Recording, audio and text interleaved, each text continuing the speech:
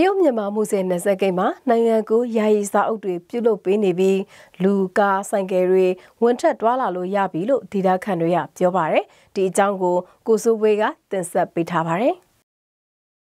ရှမ်းပြည်နယ်မြောက်ပိုင်းတရုတ်မြန်မာနယ်စပ်မြို့ဖြစ်တဲ့မူဆယ်မြို့မှာရှိတဲ့နယ်စပ်ဂိတ်တွေကိုမြန်မာဘက်ကပြန်လည်ဖွင့်လှစ်လိုက်ပြီးဖြစ်ပြီးစာအုပ်အနီတွေကိုလည်းလုတ်ပေးနေပြီလို့ နယ်စပ်နေပြည်သူတွေကပြောပါတယ်။ဇန်နဝါရီလ25ရက်နေ့မနေ့ပိုင်းကစပြီးနန်းတော်ဂိတ်အလဲပေါက်မှာစာအုပ်အနီဖြစ်တဲ့ Border Pass BP စာအုပ်ကိုလုတ်ပေးနေပြီဖြစ်တယ်လို့စင်ဖြူပေါက်မှာတော့ကားအသေးနဲ့စိုက်ကယ်တွေတွာလာနေပြီလို့မူဆယ်မြို့ခံကိုထေးကပြောပါတယ်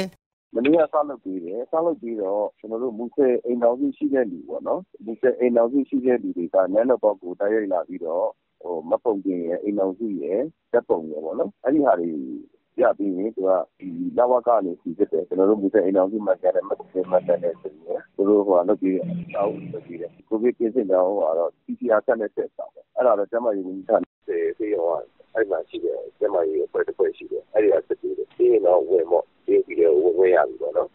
စာအုပ်တွေပြုလုပ်ပေးပြီးနောက်နန်းတော်ဂိတ်အလဲပေါက်မှာလူအဝင်အထွက်တွေရှိနေပြီးစင်ပြူဂိတ်မှာတော့ကားသေးစိုက်ကယ်တွေတွာလာနေပြီလို့ကိုထိကဆက်ပြောပါတယ် နေဆက်ဂိတ်တွေဝင်ထွက်သွားလာလို့ရတော့မှာဖြစ်တဲ့အတွက်နေဆက်ကုံသွယ်ရေးကောင်းမွန်လာတော့မယ်လို့နေခင်တွေကပြောပြီးမဲ့တစ်ဖက်မှာလည်း COVID-19 အတွက်စိုးရိမ်နေတယ်လို့မူဆယ်မျိုးမိမျိုးဖတ်တယောက်ကပြောပါတယ်။အဲဟိုဟာလောလောဆယ်တော့သူတို့ယောဂါတော့ကြောက်တာပေါ့မြို့ခံတယ်။ကောင်းတဲ့ဘက်ကတော့ဒီအလုပ်ခွင့်လန်းနေရှိရှိမှာပေါ့။အလုပ်ခွင့်လန်းနေရှိမယ်။ရောင်းဝယ်လုပ်ငန်းတွေရော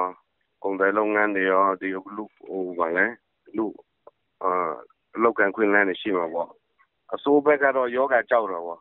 လက်ရှိမှာတော့နေဆက်ဂိတ်၃ခုကနေတရုတ်မြန်မာနေဆက်မြို့တွေကိုအဝင်ထွက်သွားလာလို့ရနေပြီးကျန်တဲ့မြို့တွေမှာလည်းစာအုပ်အနီးလုပ်ပေးနိုင်ဖို့အတွက်ဌာနဆိုင်ရာတာဝန်ရှိသူတွေကညှိနှိုင်းနေကြတယ်လို့ပြောပါတယ်မူဆယ်ကနေဆက်ဂိတ်တွေမှာလုပ်ပေးနေတဲ့စာအုပ်အနီး BP စာအုပ်အမျိုးအစားကိုလုပ်ပေးရမှာတော့ကန့်သက်ချက်တချို့ရှိနေတယ်လို့ကိုထေးကဆက်ပြောပါတယ်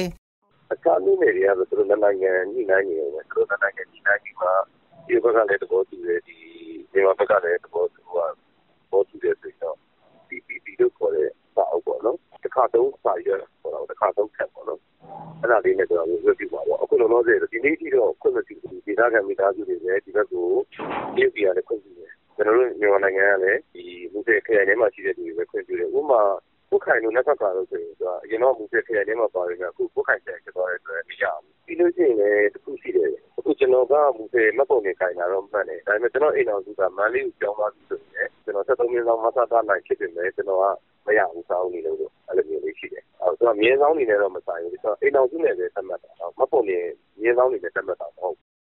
ဇန်နဝါရီလ10ရက်နေ့ကစတင်ပြီးနေဆက်ဂိတ်3ဂိတ်စလုံးကို တရုတ်နိုင်ငံဘက်ချမ်းကဖွင့်လှစ်ပေးခဲ့ပေမဲ့မြန်မာဘက်ချမ်းကတော့ပိတ်ထားခဲ့ပါတယ်ဒီလိုပိတ်ထားရကနေဇန်နဝါရီလ14ရက်နေ့မှာမှတ်ဝင်းကုံစီဝင်ထွက်ကုံသွယ်တဲ့ဂိတ်ကိုမြန်မာဘက်ချမ်းကပြန်ဖွင့်လိုက်ပါတယ်ဇန်နဝါရီလ25ရက်နေ့မှာတော့လူဝင်ထွက်ဂိတ်တွေကိုပါမြန်မာဘက်ချမ်းကဖွင့်လိုက်ပြီးစားအုပ်အနီတွေလည်းစလုပ်ပေးနေတာဖြစ်ပါတယ်